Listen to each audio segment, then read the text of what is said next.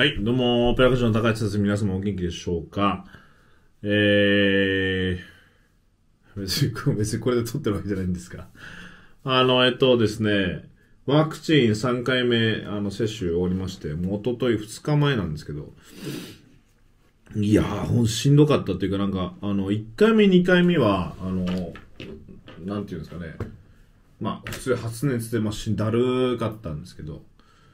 やっぱ1回目より2回目、2回目より3回目、3回目は今、本当はなんか、なんか足に全然力入んなくて、なんか、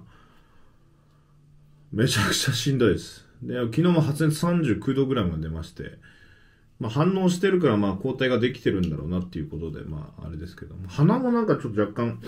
鼻声な感じで、なんかイライラしますが、まあそれはさておき、ちょっとあの、今回ですね、あのまあレッスンに来てくれてる皆様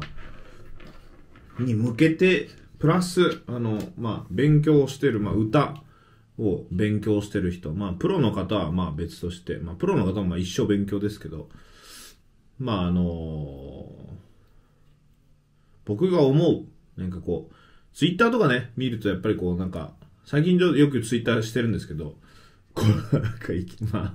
流行った時期しなくて今頃し始めるっていうね、なんか、なんですが、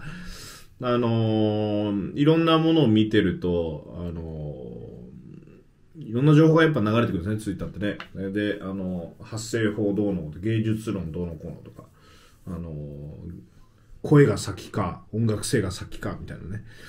なんか、あの、そんな話題、まあ、いっぱいいろんな話題があるんですが、まあ、ちょっとあの、皆様に、まあ、僕の経験上っていうか、僕が、まあ、まだこれは多分正解じゃないんだろうなと思いますが、まあ、あの、オペラを歌ってきて、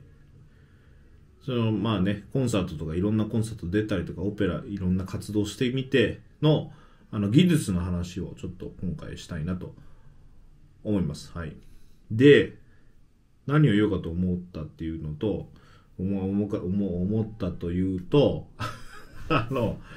あの、呼吸とかですね、ポジションとか、あのあるじゃないですか。例えば、まあ、いろんな流派がありますが、まあ、上で、末とか、下で、末とか、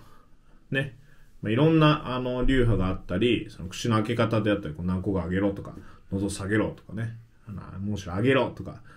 まあ、いろんな、あの、先生がいるので、今いろんな、いろんな声があって僕は全然いいと思うので、それはいいんですが、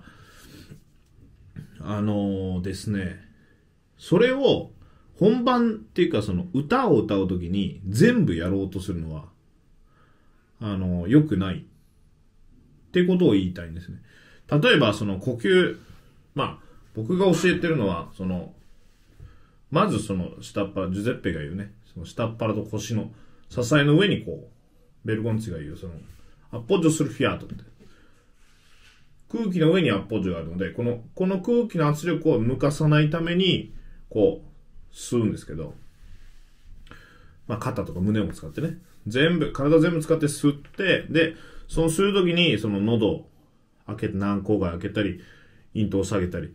とか、口の唇をね、もっと使って、口の、あのー、空間を縦長にするとか、ね、縦長、縦長でね。で、立体的に声を作っていくっていう、あのー、ことを教えてるんですが、それをですね、あのー、歌うときに、あの息を吸う。例えば、なんだろう、チェ、うん、例えばなんだろうな。で、ミアイポレンティスピリティ。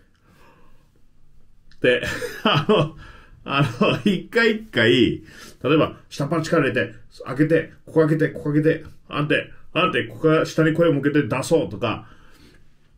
いうのを、まあ、下に向、下に向かって声を出そうはいいですけど、その、声を出す前の準備の段階で、いろんなことを考えすぎると、もう、歌えなくなっちゃうんで、あのー、なんて言うんですかね、普段の生活にそれを取り入れてほしいんですね。僕は。あのー、なんていう、なんていうんですか、喋る時でも、例えば、下っ腹と腰にか、こう、ドシッとして、足腰ドシッとして、上がもう空気でいっぱいで、ここがもう空いてる状態、常に。でもここもアクートのとこまで、こうずっと引っ張れる。開け、まあ、引っ張れるというか、こう、保てるように。まあ、この状態でずっと喋るっていう。だから喋る時からこう開いて、こう開いてっていうのを、この状態で息を吸う。で、そして歌うっていうのを意識してほしいんですよね。だからその呼吸、毎回その曲、アリアとかオペラの中で呼吸をする。呼吸しないと歌えないんで。息を吸うときに、毎回毎回その、下っ腹力入れて、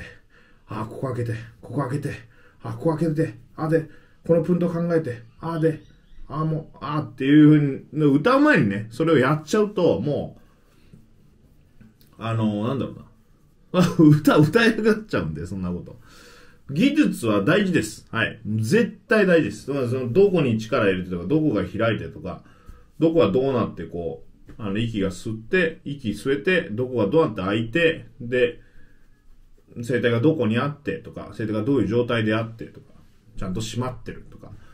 そういう状態をあの考えるのはすごく練習ではすごく重要なので、まあ、細かい練習するときはすごく重要、重要というかややらなきゃいけないんですけど、でも、そのなんていうの、なんていうんですかね、その、それを息するときにこう、なんか考えるのやって、もう常に、常に空いてる状態。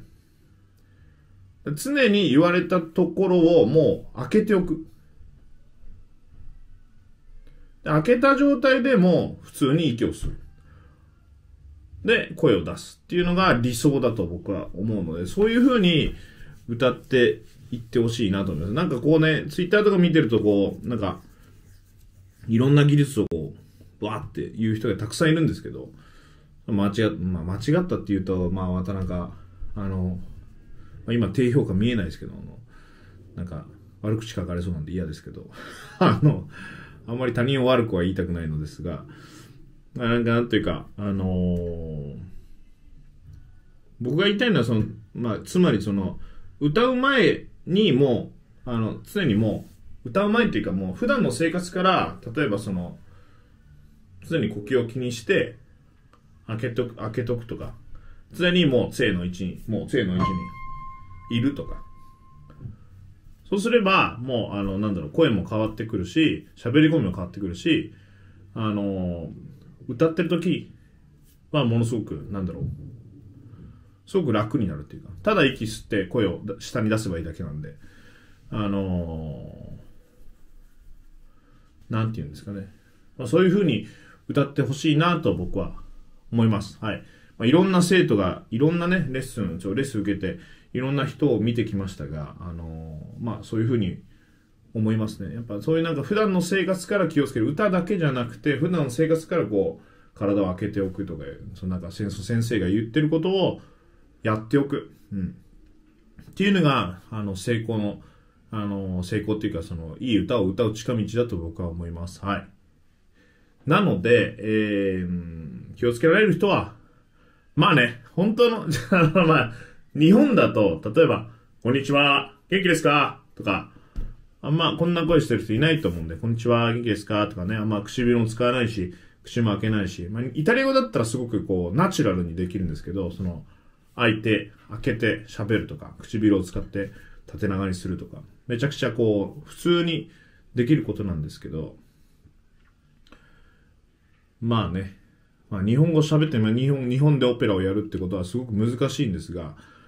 でもまあ、あの、普段の生活から、あの普段の喋り声から、普段の息遣いから、飯食ってる時でもね、やっぱりこう、開けて飯食うとか、まあそれだけでも全然もうなんだろう、あの、リラックスした状態でこう、あのトレーニングできるんで、あの、すごく僕はいいトレーニング方法だと思います。はい。実際そのオペラをやると、その指揮者見ないといけないし、演出家の言われたことしないといけないし、で、その場の感情とか、相手役がなんかヘマしたら助けないといけないし、うわーもうなんか、もう、息がどうこうなんかこんな考えてる場合じゃないので、あの、だから普段の生活からこう開けて、あの、やって、声を出すっていうのが、まあ、一番理想だと思うので、皆さんもぜひ、あの、お試しください。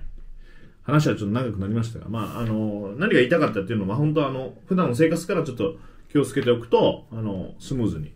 あの、いい声が出ますよっていう話です。まあんまこうね、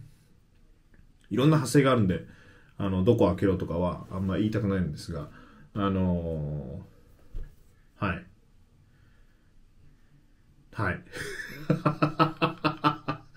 まあそ、んな感じです。まあ、なんか普段の生活からちょっと皆さん、あの、話し声からちょっと気をつけてみてください。はい。というわけで、えー、いかがだったでしょうか？えー、この動画が良かったと思う方はチャンネル登録、えー、グッドボタンよろしくお願いお願いいたします。またね、えー、オンラインレッスンもやっておりますので、えー、どこ開けたらいいんですかとか、せい出る、せいとか、はいせいとか出すにはどうしたらいいんですかとかね。あのー、いい歌歌い歌いたいんですが、とか。いろんな人がいましたら、えー、下のアドレスからどしどし、えー、また、はい、メールしてください。毎回、毎回噛んですいません、本当に。はい。というわけで、えー、ちょっとワクチンで、あの、だるい感じの声ですが、あのー、皆さんも、あのー、ワクチン3回目多分打つと思うので、日本はね、日本もね。あの、翌日、翌々日ぐらいは予定を何も入れない方がいいと思います。はい。ので、あのお気をつけ、お気をつけください。はい。えー、オペラ歌手の高橋達也でした。チャオチャオ。